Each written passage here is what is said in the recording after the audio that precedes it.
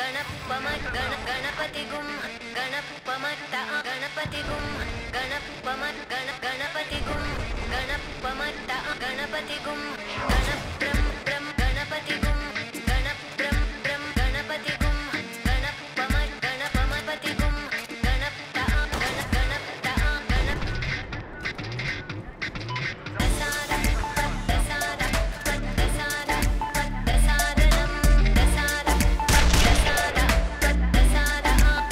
Czołem, Kromka z. Witajcie moi mili w kolejnym materiale na moim kanale i po bardzo, bardzo długiej przerwie powracamy do rozmowy z byłym żołnierzem US Marine, e, Michałem. Cześć Michał. Cześć, cześć Kubo, cześć, witam wszystkich widzów serdecznie. Ja z tego co pamiętam, nasze pierwsze materiały, a było ich trzy, nie wiem, parę miesięcy temu na pewno były wypuszczane, także wiem, że od tej pory doszło naprawdę sporo nowych widzów, więc serdecznie zapraszam Was do zapoznania się z opisem. Tam możecie nadrobić e, swoje zaległości. I oczywiście, e, jak za starych dobrych czasów, również głos Michała będzie zniekształcony. Mam nadzieję, że, że rozumiecie. Ci, którzy oglądali wcześniej, na pewno mm, zrozumią. Także, moi drodzy, dzisiaj e, taki filmik bardziej tematyczny, ponieważ porozmawiamy sobie e, głównie o grach FPS i o tym, co ma Michał ze względu na swoje doświadczenie e, i na swoją przeszłość e, zawodowego żołnierza e, do powiedzenia. E, Także myślę, że zaczniemy, Michał, od tego, gdzie tak naprawdę e, się poznaliśmy, bo też wiem, że sporo takich pytań się pojawia i nie wiem, czy dobrze pamiętam, ale chyba na samym początku mieliśmy styczność ze sobą w za, za czasów Xboxa 360. Nie wiem, Tak, nie wiem czy tak, dobrze zgadza się, zgadza się, zgadza się. Pierwszy raz, kiedy mieliśmy okazję grać razem, to było na Xboxie 360. Poznaliśmy się przez wspólnego znajomego, z którym znałem się troszkę dłużej niż z tobą. Z oczywistych względów nie będziemy tutaj podawać yy, ni- niku. Yy, tak, ale graliśmy razem w Battlefielda 3, z tego co pamiętam. Yy, tam inne gry też się przewinęły, ale głównie chyba Battlefield. E, Ja wtedy nie miałem w ogóle pojęcia, że, że... Bo wtedy już chyba miałeś ten kanał sam. Miałem, miałem kanał, ale wiesz, to, to było raczej, no na pewno zdecydowanie mniejsze niż, niż teraz, ale właśnie tutaj Oczywiście. fajnie, że zauważyłeś o, o tym, że, że powiedziałeś o tym Battlefieldzie 3, bo niewątpliwie nasza znajomość, jeśli by wziąć pod uwagę tylko i wyłącznie gry e, na konsolę, raczej jakoś mega super nie wykraczała poza te FPS-y, prawda? Na Xboxie, tak jak wspomniałeś, był to Battlefield 3. E, No później naturalną koleją rzeczy był e, Battlefield 4. I tutaj moje pytanie do ciebie, jako takie clue tutaj sól tego odcinka. Czy ty jako były żołnierz US Marine grasz w gry FPS? Wiemy już, że grasz, ale jestem bardzo ciekaw twojego podejścia do tego tematu, bo wiem, że z różnych względów może on być różnie odbierany. Wiadomo, no, elektroniczna rozgrywka polegająca na zabijaniu się w grze wideo e, przeze mnie jako zwykłego randoma e, i człowieka bez przeszłości e, militarnej, no jest zupełnie czym innym niż z twojej perspektywy, także jestem bardzo ciekaw twojego poglądu na ten temat. E, tak, zgadza się. Gram, gram, cały czas gram, prawda? Jestem graczem, jak, jak, jak sam wiesz, bardzo zapalonym graczem. Nawet, Tak. nawet, na, nawet mam klan, e, w, którym, w którym się udzielam. Em, Chodzi o to, że trzeba rozróżnić em, dwie zupełnie różne rzeczy, którymi są służba jako żołnierz profesjonalny, nie, nie jako zawodowiec, służba i, i, jako prawdziwy żołnierz w prawdziwych warunkach, a zabawa, jakimi są gry komputerowe. Oczywiście ktoś może powiedzieć, no tak, no ale teoretycznie, czysto w teorii, tak, biegasz tam, strzelasz, no to te gry są robione coraz bardziej, e, prawda, ta grafika, dźwięki, Realistyczność, Mm. brutalność, to wszystko Tak, tak. wzmaga to doświadczenie. nożowanie, prawda, ta krew wszędzie, wybuchy, co prawda w Battlefieldzie nie ma jakoś tam odrywanych rąk i, i, i nóg, ale, ale wiadomo, w innych grach się to zdarza. Moje podejście do tego jest takie, że to jest zabawa, tak? To jest zabawa, to jest rozrywka, to jest relaks, oczywiście troszkę takiego współzawodnictwa, że no zobacz, jestem lepszy od ciebie. Natomiast ym, ja całe szczęście i dzięki Bogu nie mam y, problemów y, z PTSD, z PTSD. Mówiliśmy tutaj o PTSD w którymś Może, odcinku. może przypomnimy, jeśli ktoś nie Yy, wiedział, czym to jest Z właśnie. zespołem y, stresu pourazowego, czyli Mhm. powiedzmy tym, na co cierpią y, bardzo duże ilości żołnierzy, którzy, którzy byli w walce prawdziwej. U mnie jak na razie nie ma żadnych e, poważnych objawów, że tak powiem. Mhm. Także nie mam z tym problemu. A czy podchodzę do tego jakoś tak bardziej e, inaczej? Osobiście niż... może, bo, bo głównie tutaj wydaje mi się, że tutaj sprawa się bardziej otwiera na takie sprawy bardziej tak psychiczne i ewentualne przeżycia, nie, niekoniecznie twoje, ale może e, osób e, ogólnie, które czynnie uczestniczą i, i, i faktycznie to tutaj z tym stresem pourazowym ma wiele wspólnego, ale mówisz, że, że, że no, traktujesz to po prostu zdrowo i raczej e, Zdrowo, ze swojej zdrowo, perspektywy. Mhm. z dystansem przede wszystkim, z Właśnie. dystansem, bo, bo czasem y, zdarzają się zabawne sytuacje, kiedy ktoś grając w Battlefielda tak, traktuje to aż tak poważnie, że czuje się usprawiedliwiony, zobligowany, żeby wysłać komuś bardzo wściekłą wiadomość, czy nagrać jakiś materiał na temat, jaki ktoś jest strasznie zły, bo coś tam zrobił, czy nie zrobił. Wiesz, ludzie do tego podchodzą, mm, nie, niektórzy z graczy podchodzą do tego strasznie poważnie, tak by to rzeczywiście była kwestia życia i śmierci. No, dla mnie nie jest. No z swojej perspektywy zabawa. to, to ja- jak dla, dla mnie takiego typu zachowania są irracjonalne i po prostu śmieszne, to nie wiem jak ty musisz po prostu patrzeć na, na tego typu zachowania, sam doświadczając, no, no jakby nie było tych, tych działań militarystycznych na własnej skórze. E, A jak odniesiesz się może do kwestii, która też bezpośrednio jest związana z tym, co teraz mówimy? E, nie wiem, czy wiesz, ale no na pewno wiesz, jeśli e, tutaj oglądasz telewizję i, i czasem słuchasz to, co się dzieje, co media starają się przekazywać e, pod tym względem. A chodzi mi ogólnie o grach jako takich i o tej przemocy, która emanuje z ekranów, przez co na przykład młody człowiek w Stanach Zjednoczonych może wyjść i rozstrzelać kogoś na ulicy, bo grał kiedyś w GTA V. Ja wiem, że dla nas, jako dla ludzi normalnych i e, stabilnych emocjonalnie, jest to śmieszne, ale może ty z perspektywy swojej przyszłości masz coś ciekawszego do powiedzenia na ten temat i może jakieś przemyślenia też e, ciekawe w tej materii są z twojej strony. Wiesz, dla mnie, dla mnie to, że gry, prawda, psują ludzi, czy, czy sprawiają, że ludzie są bardziej agresywni, czy że, tak jak mówisz, ktoś grał w GTA, więc teraz ukradnie samochód i rozjedzie kogoś.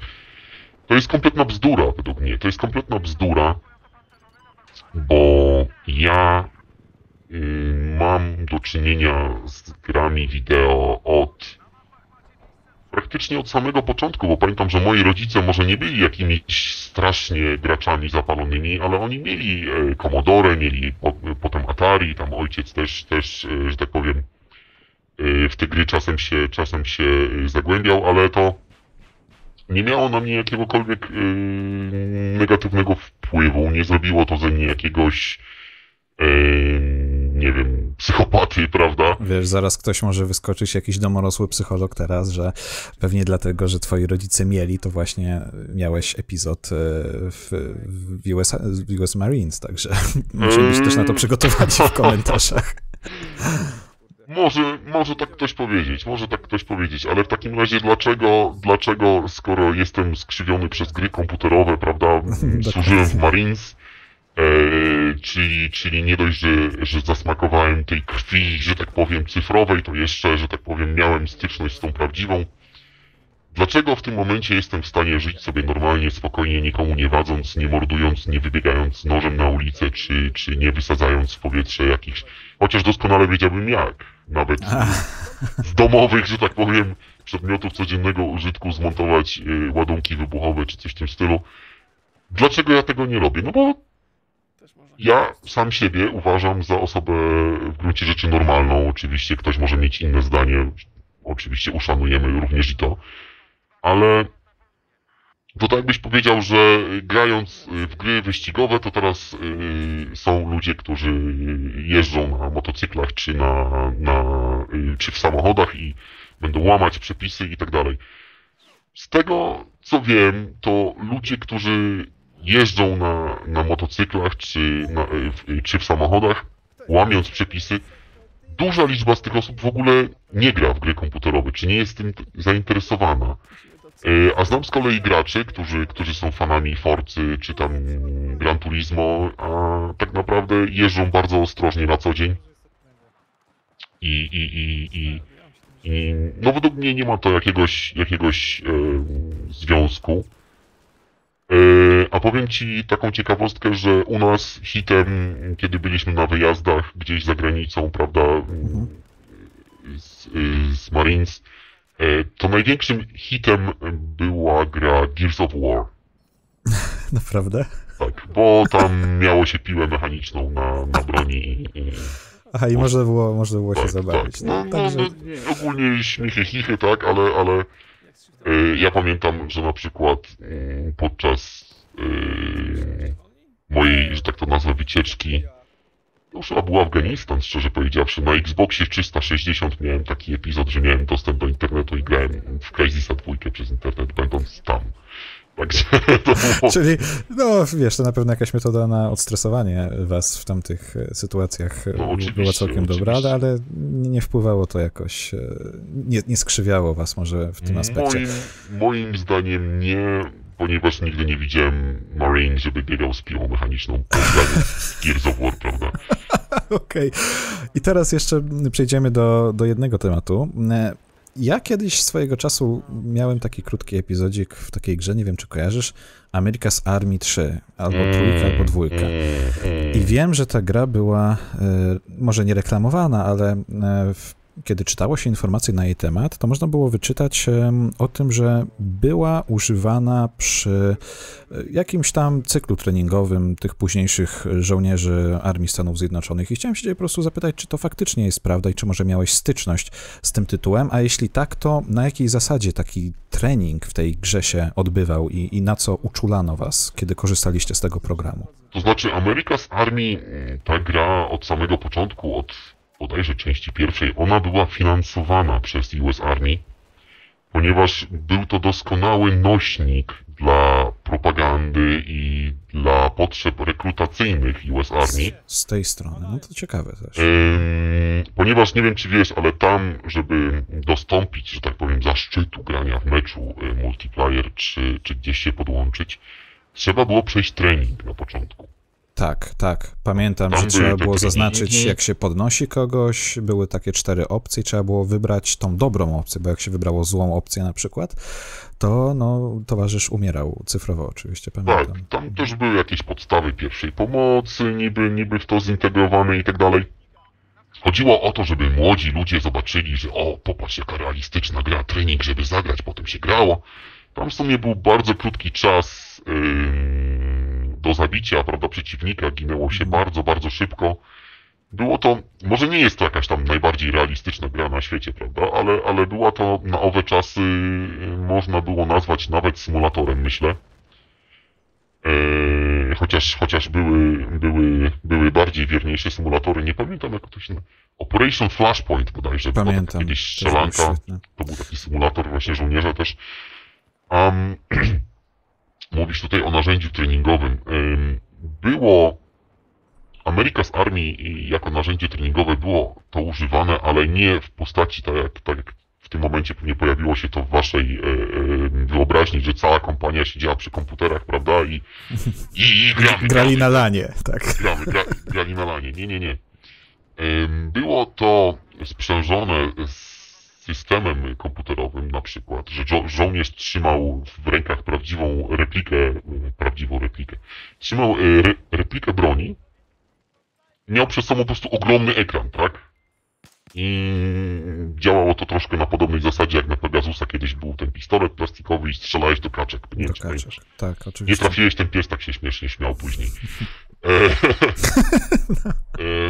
ale było to na podobnej zasadzie i e, było to na zasadzie treningu dla dowódców drużyn, e, przede wszystkim taktyczna, tak, taktyczne podejście do pola walki, współpraca pododdziałów, mapy, bo jak dobrze wiesz, są te systemy Blue Star na przykład, który tam jest to system nawigacji, I żołnierze w tym momencie w e, Hammerach czy, czy, czy w innych pojazdach mają dostęp do obrazu z satelity, na przykład w czasie rzeczywistym, jeżeli satelita jest w od- w odpowiednim miejscu.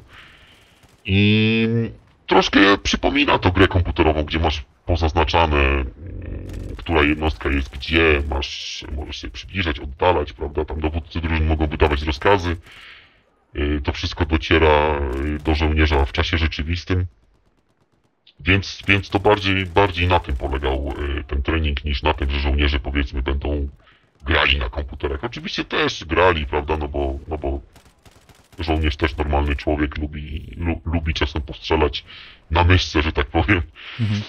Yy, No i tak jak y, powiedziałem, to było świetne narzędzie rekrutacyjne, bo przynosiło, wiesz, powstała druga część, potem trzecia część, teraz jeszcze chyba wyszła jakaś Proving Grounds, było jakieś Możliwe, już się nie beta zagłębiam. bodajże tej najnowszej części, ale, ale, ale nie wiem, nie wiem czy jest to y, nadal tak bar bardzo popularne, skoro mamy gry takie jak Battlefield i, i, i Call of Duty oczywiście. I na koniec, słuchaj, takie pytanie do ciebie. E, najbardziej realistyczna gra, jeśli można powiedzieć o takiej grze FPS, która odwzorowuje to, co faktycznie się dzieje, w jaką grałeś? Mm, Arma? Może to Operation Flashpoint, które wcześniej wspomniałeś, bo raczej nie Battlefield, chyba tak mi się wydaje mimo wszystko.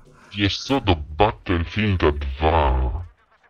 Ty nie grałeś Battlefielda 2, Nie. grałem, bo ja zacząłem od Battlefielda 2... e, Nie, sorry, przepraszam, od pierwszego Battlefielda 1942 42? chyba. Mhm. E, W każdym razie do Battlefielda 2 była taka nakładka mod. Mod się nazywał e, Project Reality. Project Reality. I to było bardzo, bardzo wiernie, wiernie odzorowane. Przede wszystkim cała ta struktura, że miałeś e, pododdziały, że w każdym pododdziale była ograniczona li- liczba nie tylko miejsc, ale na przykład mogłeś mieć tylko jednego y, snajpera, czy, czy tylko dwóch, powiedzmy, medyków. Te pododdziały były poprawnie skonstruowane, prawda? Y, Ginęło się praktycznie od jednego strzału, z tego co pamiętam. Tak, tak, tak, tak. Y, I teraz e, autorzy właśnie tego modu Project Reality tworzą nową gierkę, już e, standalone, The Squad. To tak na marginesie też się możesz zainteresować tematem i Słyszałem, tu do widziałem, widzów też wiadomość. Widziałem na YouTubie, ale nie miałem okazji zagrać. Wiem, że taki YouTuber, jak, jak on ma? Level Cup, Level Cup. Level Cup. On się bardzo, bardzo się podnieca tym, tym składem, także no cóż, Zobaczymy. myślę, że zobaczymy. W każdym razie może kiedyś, jak skład wyjdzie, to e, będzie nam dane może razem zagrać sobie we dwójkę w, w składzie. Oj, będzie cię to kosztowało. Myślę, że, że jakoś cię tutaj razem z widzami przekonamy. Także bardzo ci dziękuję, Michał, za kolejną bardzo ciekawą rozmowę. Dzięki, że chciałeś tutaj wziąć udział i, i opowiadasz tą swoją historię bez skrępowania. Chwała ci za to. Również dziękuję. E, No i moi drodzy, mam nadzieję, że Wam też materiał się spodobał. Mamy plany, mamy jakieś pomysły na kolejne filmiki, ale e, myślę, że, że warto to dawkować e, tak powoli, delikatnie, bo wtedy najlepiej smakuje. Także moi mili, dziękuję Wam bardzo za oglądanie. Pamiętajcie, kromka Gada Radzi nigdy Was nie zdradzi. Zapraszam do oceniania, komentowania, subskrybowania i do usłyszenia w następnych materiałach. Trzymajcie się. Pa, pa.